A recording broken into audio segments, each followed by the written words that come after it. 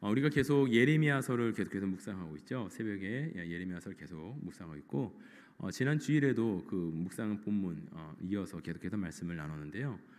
어, 이렇게 전체 예레미야서를 쭉 보는 가운데 한 구절 한 구절을 바라보지만 전체 예레미야에서 도대체 우리에게 무엇을 말하느냐 예레미야 선지자가 대체 어떠한 메시지를 선포하고 있느냐 이 전체의 그림을 한번 그려보는 시간을 가지려고 어, 합니다. 그래서 예레미야 아, 길찾기 예레미야 길찾기라는 제목으로 같이 잠시 어, 하나님의 은혜를 나누도록 하겠습니다. 자, 이 예레미야서를 보면은 예레미야 예레미야는 어, 누가 하나님의 말씀을 전하고 있죠? 누가요? 예레미야요. 그렇죠, 그렇죠, 그렇죠, 그렇죠. 여러분 저는 절대 어려운 질문 하지 않습니다. 절대 어려운 질문 하잖아요. 아, 저는 그 학교에서도 막 공부하고 외우고 막 시험 보고 이러잖아요. 근데 교회에서 선생님이 막 퀴즈하고 질문하고 맞추는 애들만 선물 주는 거전 너무 싫었어요. 제가 그 막그 그 강심장이 아니어가지고 왜 그 그런 사람들 있잖아요. 소심해가지고 분명히 내가 아는 건데 야 너 대답해봐 하면 깜짝 놀라서 이거 막 틀리는 사람 있잖아요. 막 머릿속이 하얘지고 제가 좀 그 강심장이 아니어가지고 갑자기 탁 질문하고 막, 막 이러는 거 제가 너무 너무 싫어하거든요. 그래서 저는 어려운 질문하는 거 되게 싫어합니다. 그래서 제가 드리는 질문은 언제나 질문 속에 정답이 있거나 아니면은 객관식이면 보통 2번이 정답입니다. 교회 와서까지 시험 들면 안, 되겠, 안 되겠죠. 어려우면 안 됩니다. 그래서 어, 쉬운 질문만 드립니다. 예레미야 이 예레미야서는 하나님께서 예레미야를 선지자로 불러서 하나님의 말씀을 대언하게 하나님의 뜻을 전하게 어, 하신 어, 그 내용들 그 내용들이 기록된 것이 예레미야서고요. 지난주 주일날 말씀드렸다시피 하나님께서 하나님의 말씀을 예레미야 선지자의 그 입에 주어서 하나님의 말씀을 대언하게 하였습니다. 그럼 그 대언한 하나님의 말씀이 도대체 무엇인가? 이 예레미야에게 주시는 하나님의 그 사역들은 도대체 어떠한 사역을 맡기셨나? 오늘 읽은 말씀이 바로 그 예레미야를 부르시는 사건이었어요. 예레미야, 예레미야야, 너 내가 내 입에 말을 줄 테니까 내가 너 너에게 주는 그말 나가서 전해. 이 사역을 위해서 너를 모태에서부터 내가 선택했어. 그러니까 어디 갈 생각하지 말고 내 뜻대로 내 생각을 그대로 유다 백성들에게 이스라엘에게 전해주지 않겠니? 그렇게 어, 소명을 받은 예레미야 선지자가 하나님의 말씀을 대언하기 시작합니다. 그 말씀이 어떠한 말씀이냐? 이 선지자 그 예레미야서 전체 말씀을 보면은 전체 스토리는 이렇게 되어 있어요. 전체 스토리. 어, 네, 제가 이거 리모컨 갖고 있습니다. 제가 어, 한 페이지 넘기면서 같이 말씀 동안은 하도록 하겠습니다. 자 예레미야서 어떤 내용인지 아, 친절도 하기도 하지, 그렇죠? 예레미야서 전체 내용을 간략하게 요약해서 제가 올려놨어요. 자 글씨 보이시는 분들은 같이 한번 읽어볼까요? 같이 시작. 예레미야는 예루살렘 폐망의 사건들을 포함하여 유다의 마지막 다섯 왕들의 통치 시대의 사건들에 대하여 기록한 책이다. 예레미야는 유다의 죄악에 대하여 경고한다. 그러나 유다가 패망할 것이라는 예언을 싫어했던 종교, 정치 지도자들에 의해 많은 핍박을 당한다. 그러나 하나님께서는 예레미야를 보호하시어 하나님의 말씀을 계속 대변하게 하십니다. 전체 예레미야 스토리를 보면 이거예요.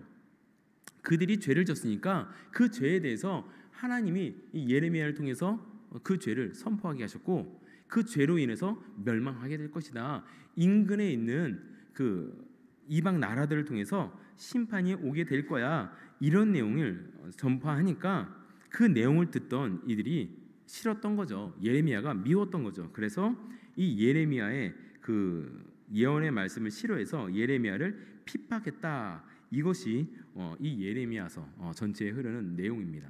그리고 그 내용 가운데 핍박이 있어도 하나님께서 예레미야를 보호하셨고 그 하나님의 말씀을 끝까지 계속해서 대언하게 했다 라는 것. 그것이 이 예레미야서 전체에 대한 내용입니다. 자, 그러면 이 내용이 어떻게 흘러가느냐, 이 내용이 어떻게 흘러가는지를 같이 한번 보았으면 좋겠습니다. 예레미야가 전체 52장까지 어, 기록되어 있습니다. 몇 장으로 되어 있다고요? 52장. 그렇죠? 거봐요. 제가 정답을 알려드리고 질문을 드리잖아요. 52장까지 되어 있어요. 그런데 이 52장까지 되어 있는 내용을 우리가 한눈에 쭉 볼 수 있었으면 좋겠는데요. 52장까지 유다의 멸망에 대한 예언 그리고 하나님께서 주신 그 예언이 성취되는 그 과정 어떻게 성취되어 가는지 그 내용을 한번 이 예레미야서 전체를 보는 가운데 한번 살펴봤으면 좋겠습니다. 먼저 전반부 내용은 1장부터 26장까지 기록되어 있는데요. 1장부터 26장까지 기록되어 있는 이 예레미야 전반부에 대한 내용은 유다에 대한 예언으로 기록되고 있습니다. 유다에 대한 예언. 유다가 어떻게 되었고 그래서 어떻게 될 것이다라는 이 유다 민족에 대한 예언. 쉽게 말해서 이거죠. 하나님 말씀 앞에 순종하지 않아서 불순종해서 죄를 지어서 하나님이 심판을 예언하셨고 그 예언대로 심판을 받을 것이다. 멸망하게 될 것이다. 이 내용이 1장부터 26장까지 기록되어 있습니다. 자, 이 전체 내용 한번 어떤 내용인지 한번 음, 가볍게 제가 설명드리면서 쭉 한번 내용을 훑어볼까요? 먼저 오늘 읽은 말씀 예레미야서 1장 5절 말씀에서 하나님께서 예레미야를 부르시죠. 너 모태에서부터 내가 너를 불렀어. 내가 너를 준비시켰어. 너는 나한테 쓰임 받아야 돼. 너 나가서 내가 전하는 이야기들 그대로 전하지 않을래? 예레미야가 하나님 앞에 부름을 받는 이 소명을 받는 내용이 1장의 내용이에요. 그래서 소명을 받아서 무엇을 위해서 소명을 받았나요? 이스라엘의 죄가 있으니까 그 죄를 선포하라는 거예요. 그래서 예레미야서 2장 3장에 가면은 유다가 어떤 죄를 짓고 어떤 죄를 지었는지 그 죄를 낱낱이 낱낱이 이야기합니다. 종교적으로 정치적으로 어떠한 죄를 지었는지 하나하나 고백하면서 이러이러한 죄 때문에 너에게 죄가 있어서 무엇이 올 것이다? 심판이 올 것이다. 유다 백성들에게 하나님의 심판이 임박했다라고 선포하고 있습니다. 그러면서 이 심판은 임의적으로 누가 하는 것이 아니라 하나님께서 주권적으로 너희를 심판하실 것이고 너희가 심판을 받음에 있어서 당연하다 죄로 인해서 너희가 심판받을 수 없게 되었다라는 이 심판의 당위성을 5장에서 설명하고 있습니다. 심판을 받을 것에 대해서 예언하죠. 그러면서 그냥 너 무조건 심판 받아야 돼. 너 죄졌으니까 무조건 아웃이야. 이게 아니라 그 심판에 대한 어떻게 심판을 받게 될지 심판의 방법과 심판을 받을 이유를 다시 한번 설명해 주는데 그 설명이 6장부터 11장까지의 내용입니다.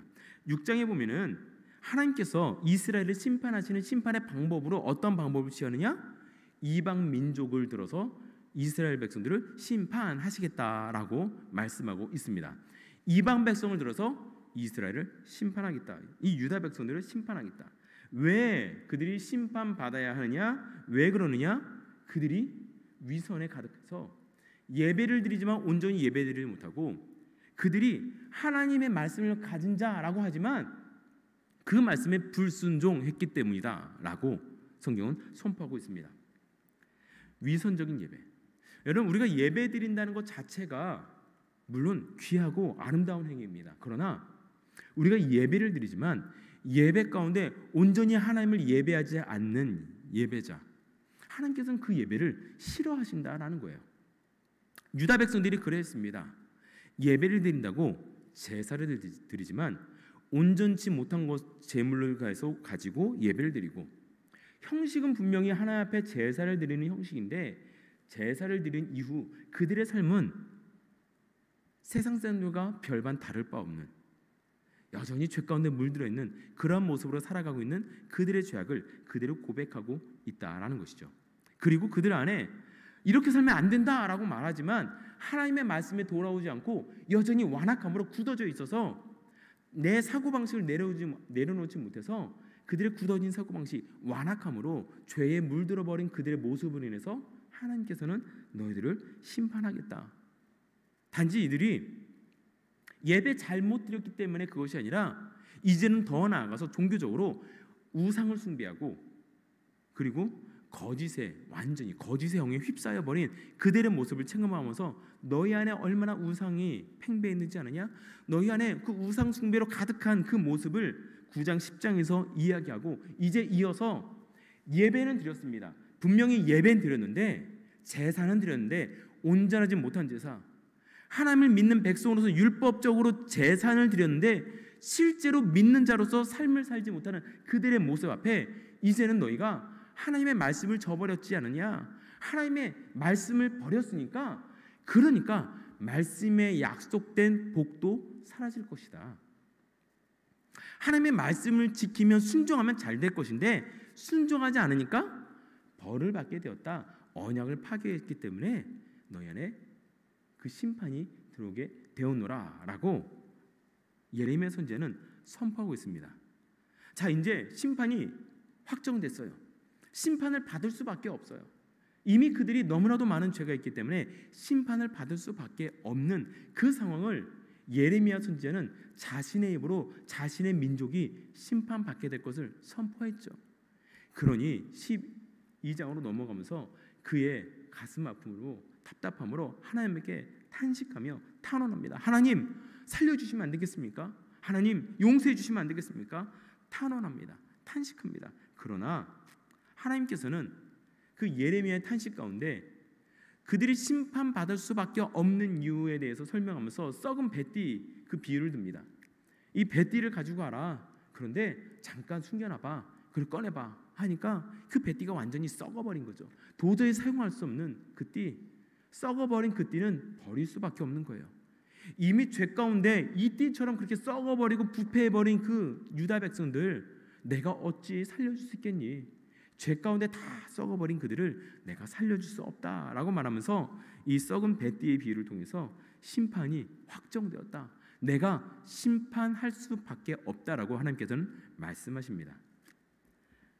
그러한 가운데 예루살렘은 아, 예레미야는 중보기도를 하죠.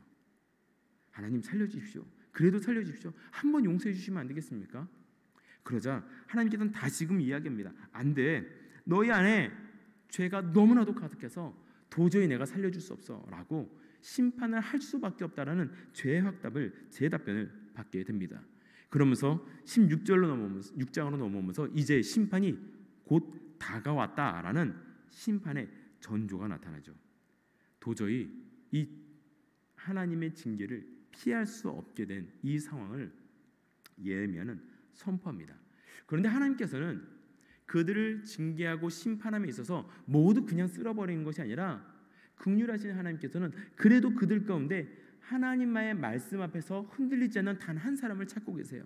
그래서 한 사람 한 사람을 찾고 계시는 가운데 하나님의 말씀을 지키고 하나님 계명에서 흔들리지 않고 안식일을 지키고 하나님께서 정하신 그 법을 지켜 살아가는 그 단 한 사람을 찾, 찾게 되면서 그 한 사람이라도 내가 찾으면 그를 구원하겠다라는 하나님의 구원 계획을 선포하고 있다라는 것이에요. 그러면서 18장 19장에 가서는 두 가지 비유가 나오는데 토기장의 비유를 토기장이의 그 비유를 들어서 토기장이가 토기를 빚죠. 근데 잘 빚어진 것 같은데 난데없이 그 빚어진 그 그릇을 토기를 깨버립니다. 그러면서 설명하죠. 이 토기장이가 토기를 깨어버리는 것은 토기장이의 주권이야. 토기장이가 깨버리건 잘 사용하건 잘못 만들어져도 그 잘못 만들어진 그 토기를 사용하건 아니면 아무리 잘 만들어져도 그걸 깨버리건 그것은 토기장의 손에 달린 주권이야. 마찬가지로 이스라엘 백성들은 하나님이 세우신 백성이고 하나님이 지으신 백성이니까 이 백성을 심판하고 살리는 것도 하나님의 주권 안에 있다라고 이야기하면서 그들을 심판할 수밖에 없는 하나님의 마음 그리고 그들의 죄 가운데 있으니까 하나님의 주권으로 그들을 심판해야 되는 심판의 이유 그리고 심판할 수밖에 없게 되는 그 내용을 19장에서 깨어진 옹기의 비유를 들어서 이 옹기가 깨어져서는 사용할 수 없어. 그러니까 죄로 인해서 깨어져 버린 그 옹기를 버릴 수밖에 없는 이 상황들 그 상황이 바로 유다 백성들의 상황이야. 죄로 인해서 어그러지고 깨어져 버린 이들은 곧 버려질 수밖에 없는 것이 유다 백성들의 운명인 거야. 그들의 삶의 앞으로의 모습일 수밖에 없다라고 심판의 당위성을 설명하고 있습니다. 그러면서 이제 20장에서는 이 예레미야 선지자가 하나님의 심판의 메시지를 선포하니까 왕궁 안에서 큰 권세를 누리던 제사장 바스올이 나와서 예레미야를 핍박합니다. 성경에 보면은 이 바스올이라는 제사장이 나와서 너 왜 그런 어? 무서운 재앙을 예언하냐고 와서 예레미야의 뺨을 때리면서 그를 핍박하는 내용이 나와요. 이 바스올의 핍박 가운데 그럼에도 불구하고 아무리 하나님이 아무리 바스올이 예레미야를 핍박한다 하더라도 하나님이 심판을 바꾸겠냐라는 거죠. 그럴 수 없다라는 거예요. 하나님의 심판이 변하지 않고 이 유다에게 어쩔 수 없이 하나님의 심판이 임하게 될 것이다라고 말하면서 이 유다의 하나님 말씀대로 살지 않는 그 유다의 왕들이 심판을 받게 될 것이라고 이야기합니다. 그 하나님을 따라 살지 않았던 이스라엘 백성들 유다의 왕들만 심판받느냐 그것이 아니라 이 바소를 비롯해서 하나님을 따르지 않도록 부추겼던 모든 거짓 선지자들 그들도 함께 모두 심판할 것이다라고 말하면서 하나님의 심판의 메시지를 두 광주리 비유를 들어서 이야기하시는데 하나님께서는 그 썩은 무화과가 담긴 이 광주리는 버릴 것이고 좋은 무화과가 남은 광주리는 걷어들일 것이야라고 말하면서 심판 중에도 하나님의 말씀을 따르는 이들을 다시금 구원하실 것이다라는 구원 계획을 예레미야를 통해서 말씀하고 있습니다. 심판 앞에 구원 계획을 말씀하시고 구원 계획을 말씀하셨으니까 이제 하나님의 심판이 시작되는 내용이 바로 25장 열방에 대한 멸망 이 심판에 대한 메시지가 25장에서 기록되고 있습니다. 그리고 이 심판 앞에 심판 앞에 26장에서 예레미야는 이 심판에 대한 설교와 이 심판에 대한 설교 그 메시지 선포로 인해서 핍박받는 내용이 26절에 6장에 기록되고 있다라는 것이죠.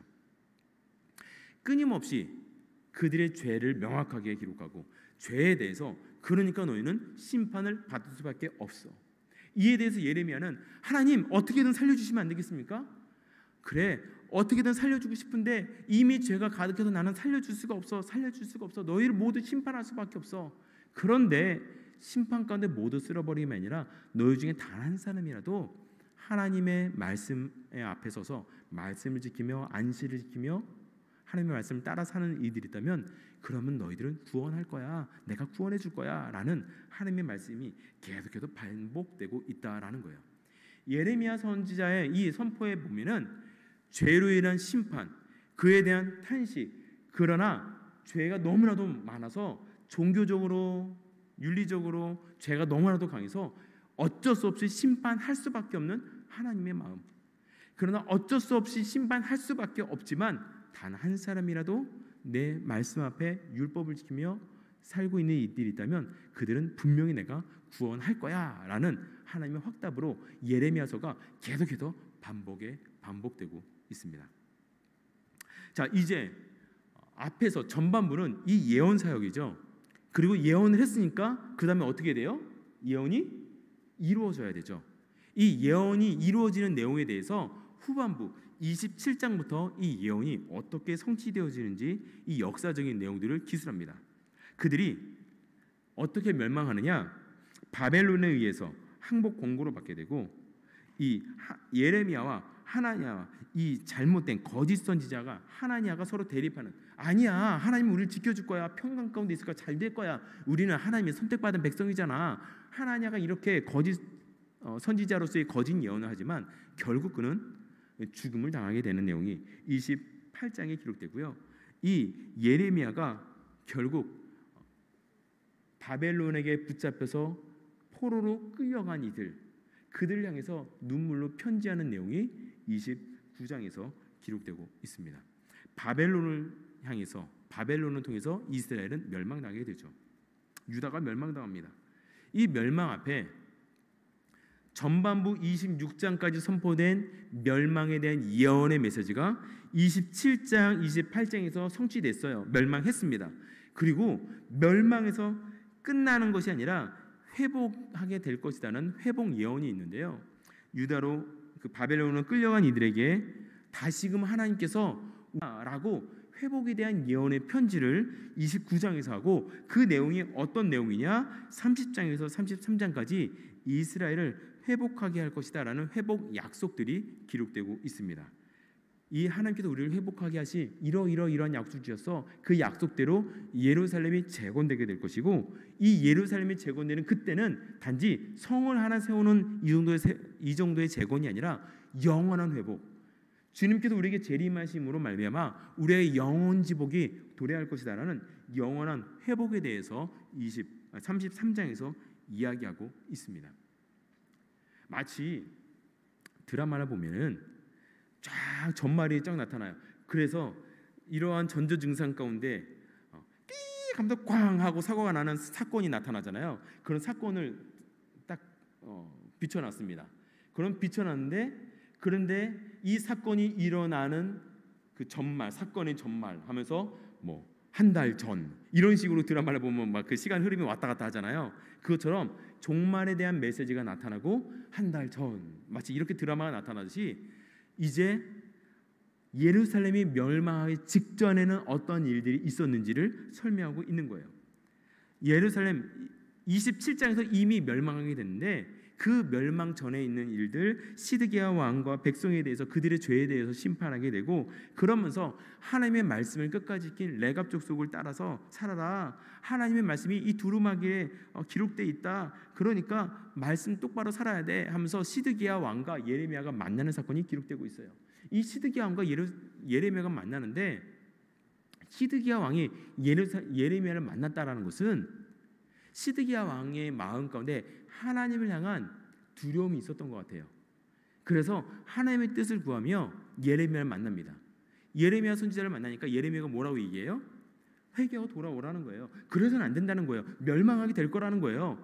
근데 이미 그 죄가 가득하게 돼서 하나님의 멸망이 심판이 있으니까 그 심판 받아들이라는 거예요. 바벨론이 항복을 권고했잖아요. 항복 권고를 받아들이라는 거예요. 근데 왕으로서 내가 왕인데 항복하고 가기가 무서운 거죠. 사람들이 자기를 질책할 거 아니에요. 역사 가운데 항복한 왕으로 기록될 거 아니에요. 그러니까 고민하는 거예요. 예레미야에게 하나님의 뜻을 물었는데 그 하나님의 뜻을 감당하기가 어려워요. 그러니까 다시 예레미야를 감옥에 거두고 고민합니다. 시간이 지나서 또 예레미야를 만나요. 예레미야가 또 얘기하죠. 하나님이 심판하실 것이라고 그래서는 안 된다라고 또 시드기야는 고민합니다. 그러나 그 자신이 놔야 할 것, 포기해야 할 것, 자존심 내려놓지 못하고 끝까지 버티는 거예요. 그러니까 멸망이 오게 되는 거죠. 39장에 예루살렘이 함락되게 되었다라는 거예요. 이때 감옥들에 가두었던 예레미야가 예루살렘에 함락되니까 그 감옥들에 갇혀있던 예레미야가 자유의 몸으로 풀려나게 됩니다. 자유의 몸으로 풀려나고 이제 어, 바벨론이 왕이 그 예루살렘을 다스려라 하고 바벨론 왕이 파송한 그달랴가 피살되게 되는 이 사건이 41장에 기록됩니다. 이게 무슨 얘기냐면은 나라를 뺏겼잖아요. 그러니까 독립투쟁, 독립군 그 독립투사들이 활동했다라는 거예요. 바벨론 왕이 보낸 그 사람을 인정하지 못해 하면서 이 그달랴를 피살하는 사건들이 기록되고요. 계속해서 그러면 그들이 죄를 지었으면은 하나님 앞에 회개하고 돌아와야 되는데 이 42장부터 45장 말씀에 보면은 하나님의 말씀에 불순종하는 사건이 기록되고 있어요. 바벨론에 의해서 함락당했잖아요. 예레미야 선지자는 이 바벨론이 너희들을 심판하기 위한 하나님의 도구야. 그러니까 바벨론에게 항복해. 그들에게 그 바벨론에게 항복하는 것이 하나님의 뜻이야라고 이야기했습니다. 근데 그들이 항복하지 않죠. 끝까지 버티다가 버티다가 함락당하게 되죠. 그러면은 바벨론에게 포로로 끌려가야 되는데 그 바벨론에게 포로로 그렇게 사는 게 하나님의 뜻이야. 여기서 징계를 받아야 돼. 그것이 하나님의 뜻이니까 거기 있어 하는데 사람들이 계속해서 예레미야의 말을 듣지 않는 거예요. 바벨론 밑에 있으면 압제를 당하고 고통을 당하고 뺏길 것 같고 죽임을 당할 것 같으니까 도망갈 계획을 세워요. 어디로 가냐? 애굽으로 도망갈 계획을 세우는 거예요. 예레미야가 선포하는 거야. 아니야, 그 애굽 아니야. 애굽 땅 아니야. 여기 있는 곳이 하나님의 뜻이야. 라고 이야기합니다. 하지만 백성들이 불순종하고 애굽으로 도망가게 되는 내용. 인해서 역시 하나님의 말씀대로 하나님의 뜻대로 그 자리를 지키지 않으니까 하나님이 이 유다 백성들을 또 심판하겠다라는 내용이 44장에서 기록하고 있습니다. 그러면서 이 심판에 대한 메시지가 계속해서 기록하는 건데 하나의 어, 에피소드가 기록되는 것이 바룩에 대한 예언이 나옵니다. 이 바룩은 누구냐면은 이 예레미야 선지자가 하나님의 말씀 예언하잖아요. 근데 이 예언함에 있어서 예레미야서가 어떻게 나왔을까요? 사도 바울은 많은 편지를 썼잖아요. 근데 예레미야는 편지를 쓴 그 바울처럼 그 서신을 쓴 사람이 아니에요. 끊임없이 예언을 한 사람이에요. 그리고 이 예언을 할 때 옆에서 예레미야의 예언을 받아 적던 사람이 바룩이었어요. 그러니까 하나님께서 이 바룩에 대해서 복을 주겠다라는 거예요. 하나님께서 이 바룩 이스라엘이 그 유다 백성들이 멸망당하게 된 자신의 조국이 멸망당하게 된 이 상황 앞에서 하나님께서 이 하나님의 예언의 메시지를 계속해서 우울한 이 죽음에 대한 메시지를 받아 적는 이 바룩을 위로하는 내용이 45장에 기록되고 있습니다. 그리고 이제 하나님의 심판의 도구로 쓰인 이 열방들이 어, 멸망하게 되는 것. 그것이 46장부터 51장까지 애굽 멸망, 블레셋이 멸망하고 모압 땅이 멸망하고 열국이 멸망하고 결국에는 바벨론도 멸망할 것이다라고 말합니다. 그러면서 이 바벨론이 멸망하게 된 이유는 역시 하나님의 뜻대로 그들이 살지 않고 우상을 숭배하며 결국 하나님의 도구로 쓰임 받긴 했지만 내 사랑하는 자녀들을 괴롭혔으니까 너희도 멸망을 당하게 될 것이다라고 말하면서 이 51장에 기록되고 앞으로 어떠한 일이 있을 것이다라는 것을 어, 기록하면서 예레미야서가 마치고 있습니다. 전체 내용은 이렇게 쭉 흘러가는데요. 제가 드리고 제가 나누고 싶었던 내용은 이 각 장별 내용이 아니고요. 자, 전체 1장부터 52장까지 이러한 내용을 들었습니다. 그러면 예레미야가 우리에게 말하고자 하는 것은 어디에 있을까요? 자, 이 부분을 한눈에 볼 수 있도록 한번 해 봤으면 좋겠습니다. 예레미야 전반부 그리고 중후반부 내용을 봤는데요. 각 장별로 다다다닥 있는 그 많은 내용들을 우리가 기억하기 너무 어려워요. 그러니까 전체 내용이 아니라 이 부분만 보자는 거예요. 각 단락 단락별로 어떻게 되느냐? 1장부터 5장까지는 하나님께서 심판하시겠다고 하나님의 심판이 예언되고 있어요. 그리고 6장부터 11장까지 하나님께서 이러 이러 이러한 방법으로 너희들을 심판할 거야. 이방 민족을 들어서 너희를 칠 거야. 그리고 너희 치는 이유는 왜? 하나님의 말씀대로 살지 않았으니까 우상 숭배를 했으니까 그리고 정치적으로 윤리적으로 너의 마음대로 살았으니까 도덕적으로 옳지 않은 일을 하면서 그렇게 살았으니까 종교적으로 도덕적으로 온전히 죄 가운데 있으니까 너희는 심판 받을 수밖에 없어라고 심판의 방법과 원인을 이야기하고 심판이 너에게 확정되었다라고 이야기하고 있습니다. 그리고 그 심판이 확정됨에 있어서 구체적으로 어떻게 심판할 것인지 하나하나 조목조목 말하고 있다라는 것이죠. 그리고 그 심판이 27장부터는 쭉 실현되기 시작합니다. 바벨론을 통해서 항복을 권고하고 그럼에도 불구하고 하나님께서 이스라엘을 사랑하셔서 언젠가 때가 되면 너를 회복시킬 것이야. 그런데 하나님의 말씀 거기서 바벨론의 압제 가운데 기다리고 있으면 회복시킬 것인데 하나님의 뜻을 따라서 그렇게 항복하거나 회개하거나 돌아옴이 아니라 끝까지 버티며 도망가며 내 뜻대로 자유를 찾아 도망가는 그런 모습 가운데 백성들의 불순종의 모습을 다시 한번 거룩하며 너희들 그래서 심판받을 수밖에 없어라고 말하는 예레미야 선지자의 이 선포들 이 선포들을 보면서 우리는 무엇을 바라보게 되나요? 예레미야서 하나하나에 보면은 여러 가지 예언들과 그들의 죄를 조목조목 나열하면서 이거 잘못했어, 이거 잘못했어, 이거 이러면 안 돼라고 이야기하지만 전체를 바라보면 결국 전체를 관통하는 하나님의 메시지는 이거예요. 하나님께서는 우리를 너무나도 사랑하셔서 우리를 창조하셨고 우리가 살아갈 길을 알려주셨다라는 거예요. 그리고 그 길을 벗어나면은 하나님께서는 심판하실 수밖에 없다라는 거예요. 예레미야에서 계속해서 등장하는 주제 가운데 하나가 그거예요. 내가 너희를 심판하겠다, 징계하겠다, 내가 너를 죽여버리겠다 이게 아니라 죄를 지어서 심판할 수밖에 없다라는 거예요. 내가 너를 징계할 수밖에 없다라는 거예요. 그 가운데 너희 중에 단 한 사람이라도 내 말씀대로 살려고 노력한 사람이 있으면 단 한 사람이라도 말씀 앞에 선 사람이 있으면 나는 심판하지 않을 거야. 심판을 안 할 이유를 찾으시는 하나님. 그런데 너무나도 많은 죄악 가운데 물들어 있는 유다 백성 때문에 어쩔 수 없이 심판할 수밖에 없는 하나님. 그러나 그 국률하심 때문에 심판하셨지만은 그럼에도 불구하고 너희가 회개하고 돌아오면 회복시켜 줄게. 그럼에도 불구하고 다시금 너가 회복하고 다시금 너가 말씀 앞에 서고 다시금 안식일을 지키고 다시금 말씀 따라 살면 다시 회복시켜 줄게 라고 끊임없이 회복을 준비하시고 다시금 하나님의 복을 꾸러미째 쌓아가지고 우리 뒤에서 준비하고 계시는 그 하나님이 예레미야서 곳곳에서 느껴진다라는 거예요. 우리가 큐티 말씀을 보는 가운데 계속 심판, 징계, 멸망, 채찍 이러한 고난 이런 메시지만 계속되기 때문에 하나님의 사랑을 지나쳐 버리고 때가 너무나 많은데요. 여러분 말씀 가운데 예레미야서 전체 가운데 흐르는 메시지 제발 내 말씀대로 살아. 나 너 잘해주고 싶어. 복 줄 거야. 너가 잘 됐으면 좋겠어.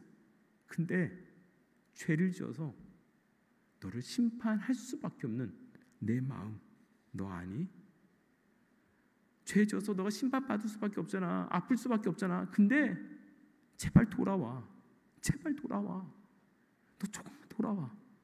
내가 너 회복시켜 줄게. 회복의 이유를 찾으시는 하나님. 그들의 죄 가운데 징계가 있으면 그 징계를 받아야 되는데 징계가 싫다고 예굽으로 도망가려고 하는 이 유다 백성들. 하나님의 징계라면 징계 받아야죠. 내가 잘못해서 우리 어머니 아버지께도 회초리를 들면은 종아리 걷어붙이고 한 대 맞으면서 아빠 죄송하다고 엄마 죄송해하고 회초리를 맞아야죠. 회초리 싫다고 뛰쳐나가는 모습이 가출하는 모습이 유다 백성들의 모습이었다라는 거예요. 그래서 그 유다 백성들의 모습을 바라보는 하나님 아버지의 마음이 얼마나 아팠는지 이 예레미야서에서 보여지고 경험되어져야 된다라는 거예요. 그럼 결국 예레미야서가 우리에게 말하는 것은 무엇인가요? 너희 안에 죄가 있다면 너 죄 때문에 심판받을 거야, 징계받을 거야, 멸망할 거야 이 얘기인가요? 아니요. 우리 안에 죄가 있으면 빨리 깨달았으면 좋겠어. 그리고 빨리 돌아와. 돌아오면 회복시켜 주실 거야. 라는 예레미야의 그 외침이 이 예레미야서 곳곳에서 나타난다라는 거예요. 그러기에 첫 번째 여러분 혹시 이 예레미야서를 보는 가운데 이 유다 백성이 왜 그랬을까 이게 아니라 혹시 내 안에 하나님이 심판하실 수밖에 없는 죄의 요소가 있지는 않은지 우리의 모습을 되돌아봤으면 좋겠습니다. 혹시 여러분 안에 하나님께서 미워하시는 죄, 하나님께서 심판하실 수밖에 없는 죄, 혹시 그러한 죄가 있지는 않습니까? 그러면 하나님보다 우선됐던 것, 내가 먼저 인정받기 원하고 내가 더 소중히 여겼던 그 죄에 대한 요소를 한번 찾아보시고요. 그렇다면 여러분 빨리 하나님께 내려놓고 회개하고 돌이켰으면 좋겠습니다. 근데 우리가 너무나도 때로는 미련해서 죄에 대해서 돌이킴이 약할 때가 있어요. 그러면 어떻게 되죠? 오늘 예레미야서 전체의 흐름 가운데 나타나는 메시지대로 그 죄 때문에 하나님은 심판, 징계 하실 수밖에 없습니다. 회초리를 드실 수밖에 없는 거예요. 그러면 그 회초리 가운데 우리는 어떻게 해야 된다고요? 도망가야 되나요? 아니요. 종아리를 걷어붙이고 그 회초리를 맞아야 돼요.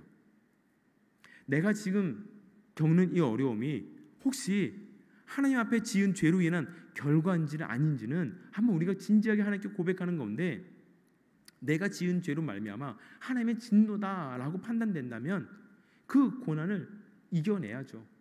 예배 자를 지키면서 어려움을 이겨내야죠. 이기면서 이겨내면서 하나님 앞에 다시금 하나님 죄송합니다. 하나님 용서해 주세요.